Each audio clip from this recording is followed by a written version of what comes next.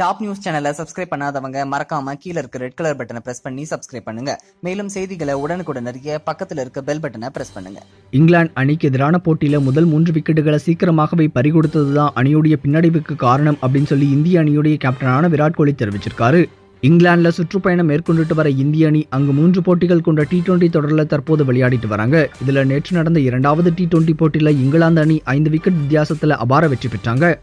இந்த வெற்றியின் மூலமாக மூன்று போட்டிகள் கொண்ட இந்த தொடரில் தற்போது ஒன்றுக்கு ஒன்று அப்படின்னு சொல்லி சமநிலையில் இருக்காங்க. இந்த சமயத்தில் தோல்விக்கு அப்புறமா பேசின விராட் கோலி என்ன சொன்னார் அப்படின்னா முதல் ஆறு ஓவர்களில் முப்பது ரன்கள் கூட எடுக்காம மூன்று விக்கெட்டுகளை பறி கொடுத்துட்டோம். இதுதான் அணியுடைய பின்னடைவுக்கு காரணம் அப்படின்னு எப்படியும் நாங்கள் நூற்றி நாற்பத்தி ஐந்து ரன்கள் எடுத்திருந்தோம். அதுவே போதும் அப்படின்னு சொல்லி நினைச்சோம்.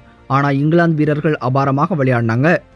அவங்களோட சிறப்பான மற்றும் துல்லியமான பந்து வீச்சு எங்களுக்கு கூடுதலான நெருக்கடியை கொடுத்துச்சு அப்படின்னும் அது மட்டும் இல்லாமல் பவர் பிளேயில் நாங்கள் மோசமாக விளையாண்டோம். அதுவே தோல்விக்கு முக்கியமான காரணம் அப்படின்னு சொல்லி தெரிவித்தார் மேலும் குல்தீப் யாதவ் உமேஷ் யாதவ் சாகல் போன்றவர்கள் சிறப்பாக பந்து வீசினாங்க அப்படின்னும் அதுலேயும் புவனேஸ்வர் குமார் ரொம்பவே சிறப்பாக பந்து வீசினாரு அப்படின்னு சொல்லி தெரிவித்தார் ஆனால் அவங்களால கூட கடைசி கட்டத்தில் வெற்றியை தேடித்தர முடியல.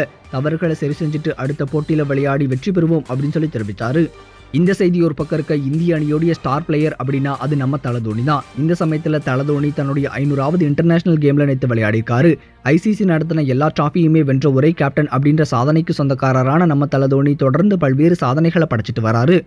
இந்த சமயத்தில் நேற்று இங்கிலாந்து அணிக்கு எதிராக நடந்த போட்டியில் தலதோனி தன்னுடைய ஐநூறாவது இன்டர்நேஷனல் கேமில் விளையாடியிருக்காரு. இதன் மூலமாக ஐநூறு போட்டிகளில் விளையாடிய மூன்றாவது இந்திய வீரர் அப்படின்ற பெருமை தற்போது தலதோனிக்கு கிடைச்சிருக்கு. இதுக்கு முன்னாடி ஜாம்பவானான சச்சின் டெண்டுல்கர் அறுநூத்தி அறுபத்தி நான்கு போட்டிகளையும் ராகுல் டிராவிட் ஐநூற்றி ஒன்பது போட்டிகளையும் விளையாடி இருந்தாங்க அப்படின்றது குறிப்பிடத்தக்கது. அது மட்டும் இல்லாமல் தலதோனி இன்னைக்கு தன்னுடைய முப்பத்தி ஏழாவது பிறந்தநாளை கொண்டாடுறாரு. இதனால பல்வேறு பிரபலங்களும் ரசிகர்களும் தங்களுடைய வாழ்த்துக்களை தற்போது தலதோனிக்கு தெரிவிச்சிட்டு வராங்க.